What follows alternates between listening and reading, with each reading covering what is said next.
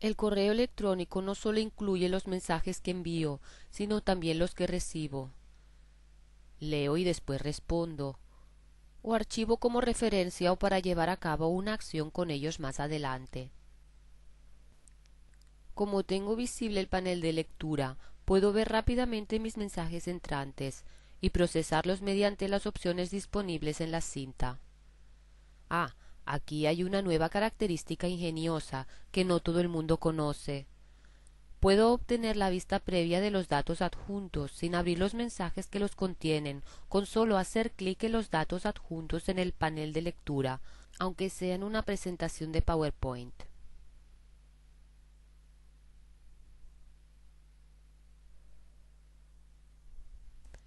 Siempre me gusta hacer los menos clics posibles. Es decir, con el panel de lectura activado, ni siquiera debo abrir los mensajes para ocuparme de ellos. Por ejemplo, leyendo rápidamente el texto de este mensaje en el panel de lectura, veo que no necesito conservarlo. Por tanto, hago clic en el botón Eliminar de la cinta y el mensaje se envía a elementos eliminados y aquí hay un correo que sé que es correo no deseado. Usaré el botón correo no deseado para moverlo a mi carpeta correo no deseado y simultáneamente bloquear al remitente para no recibir sus mensajes en el futuro. Este mensaje sí lo necesito responder, por lo que hago clic en el botón responder, ubicado en el grupo responder. Aquí también puede ver reenviar y responder a todos. Escribo mi respuesta y hago clic en enviar.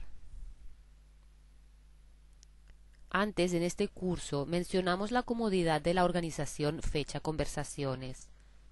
Estos dos botones, limpiar e ignorar, me ayudarán a demostrar lo cómoda que puede ser esta agrupación Limpiar libera espacio de la bandeja de entrada al eliminar solo de esa carpeta los mensajes con contenido totalmente duplicado en un mensaje posterior de la misma conversación que también se encuentre en dicha carpeta. Veamos esta conversación y todos los mensajes de ida y vuelta entre Gwyneth y yo sobre los test internos. Cada uno de los mensajes de Gwyneth que están en mi bandeja de entrada incluye el texto de todos los anteriores. Es mucho contenido duplicado y un desperdicio del espacio de mi bandeja de entrada. Tenga en cuenta que mis mensajes ya están en la carpeta elementos enviados, así que no se verán afectados por la operación de limpieza en la bandeja de entrada. Basta con seleccionar la conversación y hacer clic en el botón Limpiar y todos los mensajes de Gwyneth se moverán a la carpeta elementos eliminados. Todos excepto el más reciente, que incluye todo el material de los anteriores. No se pierde nada en el proceso, excepto mucho material duplicado. Tenga en cuenta que también puede cambiar el lugar a donde se moverán los mensajes redundantes. Ahora, este botón es realmente muy útil ignorar. Esta conversación se refiere a un almuerzo al que ya sé que no podré asistir. Por lo tanto, selecciono la conversación y hago clic en ignorar. Y todos los mensajes de esa conversación incluidos, y esto es lo mejor, incluidos los futuros en dicha conversación se envían o enviarán directamente a la carpeta elementos eliminados. Ya sé que no podré asistir al almuerzo, y ahora sé que tampoco deberé ocuparme de más mensajes sobre dicho almuerzo. Si prefiere abrir los mensajes para leerlos y responderlos, por supuesto que aún puede hacerlo. Haré doble clic en este mensaje para abrirlo. Tal como era de esperar, la cinta para el mensaje que se está leyendo contiene comandos que ayudarán a responderlo o a llevar a cabo otra acción. Deseo mover este mensaje a la carpeta llamada Spring Conference. Por lo tanto, hago clic en el botón Mover y luego en esa carpeta de la lista, y el mensaje se mueve a donde deseo. Si desea mantener el correo organizado en carpetas, deseará saber cómo crearlas. En Outlook 2010 hay una ficha en la cinta para que sea más fácil hacerlo. Lógicamente, la ficha se denomina carpeta.